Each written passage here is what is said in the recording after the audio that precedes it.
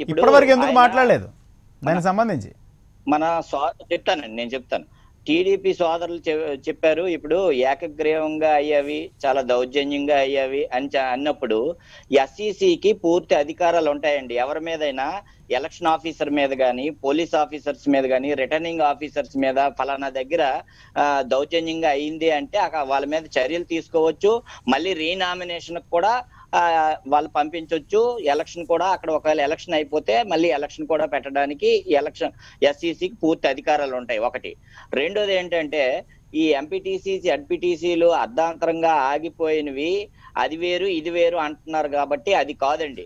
మార్చి ఏడో తారీఖుని నోటిఫికేషన్ ఓవరాల్గా స్టార్టింగ్ ఇచ్చారు. మార్చి ఏడు నుంచి షెడ్యూల్ మార్చి ముప్పై ఇరవై తొమ్మిది వరకు ఎలక్షన్స్ ఉన్నాయి. పంచాయతీ ఎలక్షన్స్ గానీ ఎంపీటీసీ జడ్పీటీసీ మున్సిపల్ ఎలక్షన్స్ సైమల్టేనియస్గా నామినేషన్స్ షెడ్యూల్ విడుదల చేయడం జరిగింది.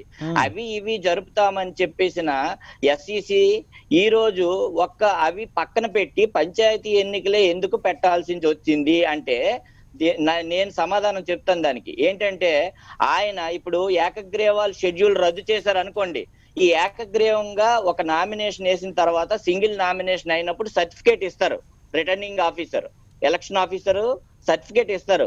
ఏకగ్రీవంగా మీకు ఎన్నుకోవడం జరిగింది అని చెప్పేసి.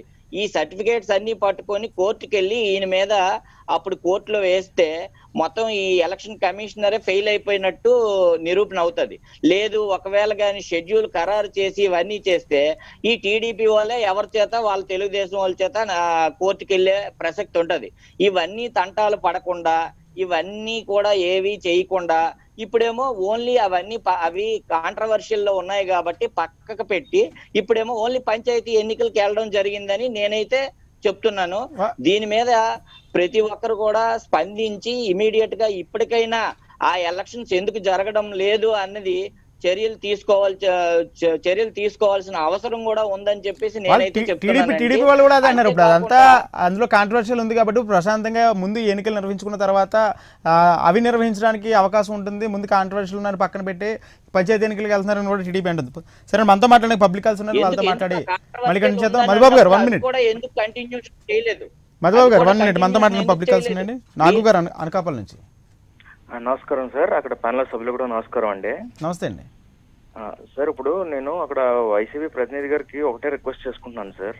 ఇప్పుడు మీరు ఎన్ని పథకాలు ఇస్తున్నారు జనాల్లో మీకు మంచి ఆదరణ ఉంది అంత చాలా స్ట్రాంగ్ వేవ్ జగనన్న వేవ్ నడుస్తుందని మీకు చాలా గట్టిగా నమ్ముతున్నప్పుడు పెట్టనివ్వండి సార్ ఎలక్షన్స్ ఇప్పుడు ఈ రోజు దేశంలో COVID recovery rate ninety seven percent sir.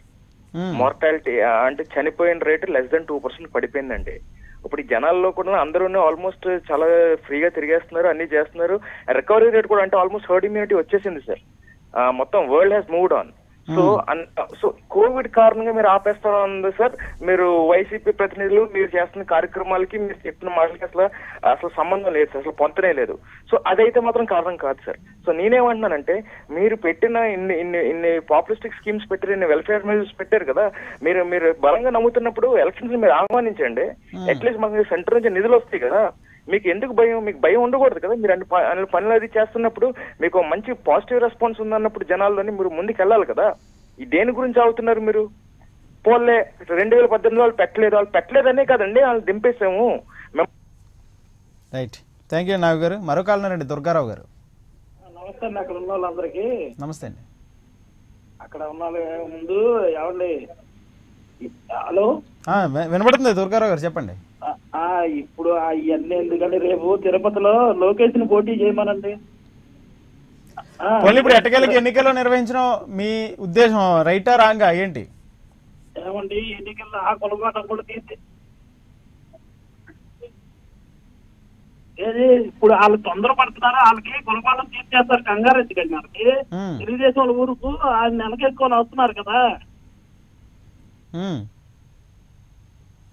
Right. Thank you Durgarao గారు. కోటేశ్వర గారు అంటే మరోపక్క ఎన్నికల కమిషనర్కి సంబంధించి ప్రభుత్వం సహకరించట్లేదనే వాదన కూడా వినబడింది. అయితే దీనికి సంబంధించి గుంటూరు విజయవాడ పరిధిలో ఉన్న కలెక్టర్లని బదిలీ చేయాలని గతంలో చెప్పినా ప్రభుత్వం పట్టించుకోవడం లేదు. అయితే ఈ నేపథ్యంలో ఎన్నికల కమిషనర్ ఎవరైతే కలెక్టర్లను పక్కన పెట్టి సబ్ కలెక్టర్లతో ఎన్నికలు నిర్వహించడానికి ప్లాన్ సిద్ధం చేసినట్టు కూడా ఆ ఊహాగానాలు వినబడుతున్నాయి. ఒకవేళ అది సాధ్యమేనా?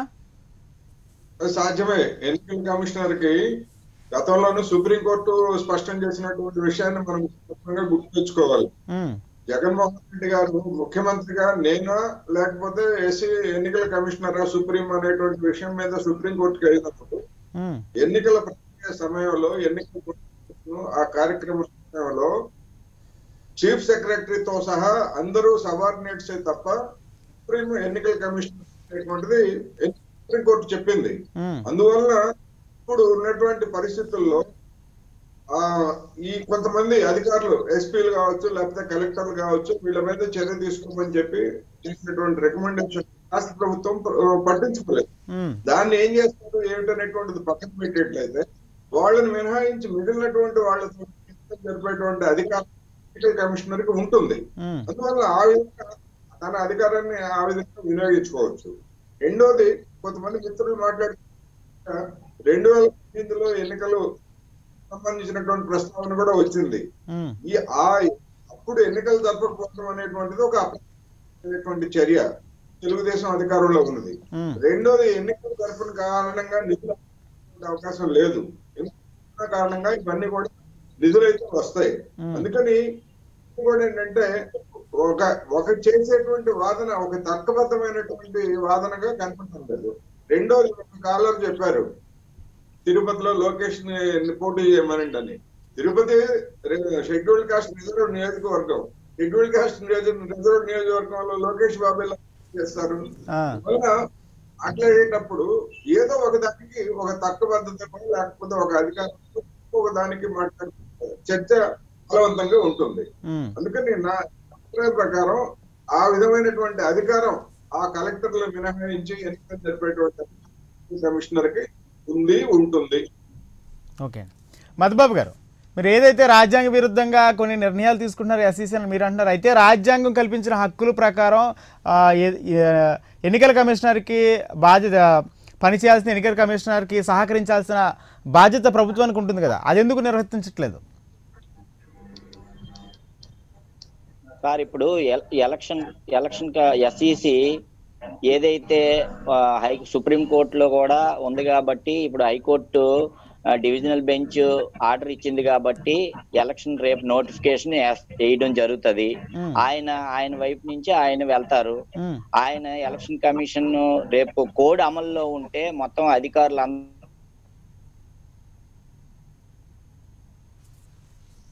వెంకటరమణ గారు.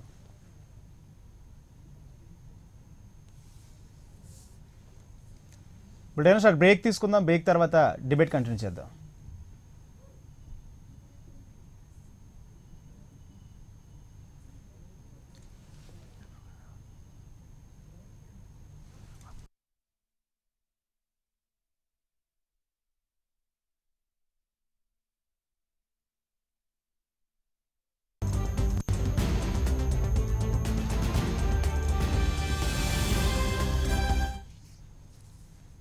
మనతో మాట్లాడిన పబ్లిక్ కాల్స్ రెడీగా ఉండండి. సత్యనారాయణ గారు హైదరాబాద్ నుంచి. నమస్కారం సార్. నమస్తే అండి. సార్ నాకు ఒక డౌట్ సార్. అక్కడ పెద్దలు అడగదలుచుకున్నా చెప్పండి సార్. నిమ్మగడ్డ రమేష్ గారు నిష్పక్షంగా నిజాయితీగా ఎన్నికలు జరపగలిగిందని నమ్ముతున్నారా లేదా.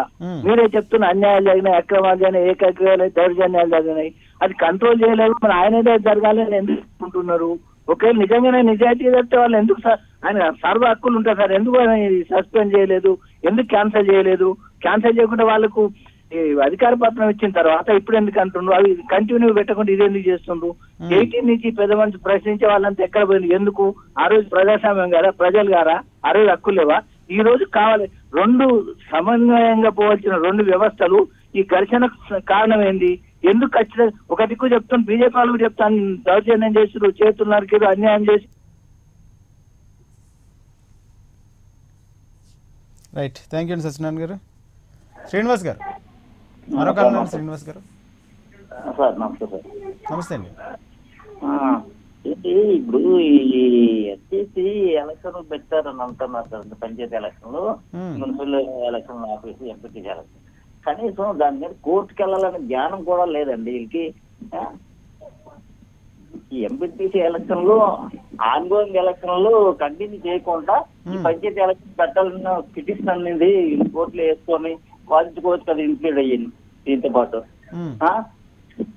తర్వాత ఈ మా ఇందాక ఎవరో వైసీపీ లీడర్ ఎవరో అంటున్నారు. తిరుపతిలో లోకేష్ గారు. జ్ఞానం లేదండి ఆయనకి. అది ఒక రిజర్వ్ సీట్లో ఒక ఎస్సీ క్యాండిడేట్ ఎలా పోటీ చేస్తారనే కనీస జ్ఞానం లేకుండా ఈ డిబేట్కి ఎలా థ్యాంక్ యూ అండి శ్రీనివాస్ గారు. మరో కాల్ ఉన్నారండి. భాస్కర్ గారు ఖమ్మం నుంచి. ఆ, నమస్తే రాజేంద్ర గారు. నమస్కారం అండి. నమస్తే అండి. అక్కడ ఉన్న పెద్దలందరికీ నమస్కారం అండి. సార్ ఏం లేదు. ఇప్పుడు మొత్తం దేశం భావించి భారతదేశం మొత్తం అన్ని రాష్ట్రాల్లో అన్ని జరుగుతున్నాయి సార్. సరే మనం ఆంధ్రప్రదేశ్లో విమర్శించడం కాదు కానీ ఇప్పుడు పద్దాక ఎస్సీసీ గారు చంద్రబాబు గారు అని వాళ్ళని పెంచుతుంటే అధికారంలో ఉండి నూట యాభై ఒక్క సీట్లు గెలిచిన వైఎస్సీ వైఎస్ఆర్ పార్టీ వారు అన్ని చేసుకుంటూ ఉన్నారు. అన్ని సినిమాలు తెరిచారు అన్ని నడుస్తున్నాయి. పక్క మా రాష్ట్రంలో ఎలక్షన్లు నడిచినాయి. హైదరాబాద్ యాభై లక్షల మంది గ్రేటర్ హైదరాబాద్ నడిచినాయి. రేపు ఉన్నాయి మా దగ్గర ఖమ్మం వరంగల్ ఉంది ఇంకా ఉన్నాయి ఎమ్మెల్సీ ఉన్నాయి అన్ని నడుస్తున్నాయి మీటింగ్లు అన్ని ఏ ఆగట్లేదు సార్. నేను అనేది పద్దాక వాళ్ళు వీళ్ళని వాళ్ళని పెంచి ఇచ్చేస్తే వాళ్ళకి నూట యాభై ఒక్క మంది ఉన్నారు బలం ఉన్న వైఎస్ఆర్సీపీ భయపడాల్సిన అవసరం ఉంది. ఇప్పుడు ఎస్సీసీ గారినో చంద్రబాబు గారినో వాళ్ళు పద్దాక చేసి తెలుగుదేశం లేకపోతే జనసేన వీళ్ళని పెంచుకోవడం తప్పితే వాళ్ళు అధికారంలో ఉన్నారు పంచాయతీలో చేసి సత్తా చూపించి ఇచ్చేయాలి కానీ కుట్రలు కుదంతాలు ఇవన్నీ ఎందుకు సార్? ఇప్పుడు మొత్తం నడుస్తున్నాయి కదా సార్. సినిమాలు ఓపెన్ అయినాయి స్కూళ్ళు ఓపెన్ అయినాయి. ఎన్జిఓస్ కూడా అది మంచి పద్ధతి కాదు సార్. ఎన్జిఓస్ని నేను వ్యతిరేకింది కానీ ఎన్జిఓస్ లీడర్లు అట్లా పోయి మేము కోర్టులు పోతాం అనేది చరిత్రలో ఎక్కడ చూడలేదు సార్. అది రైట్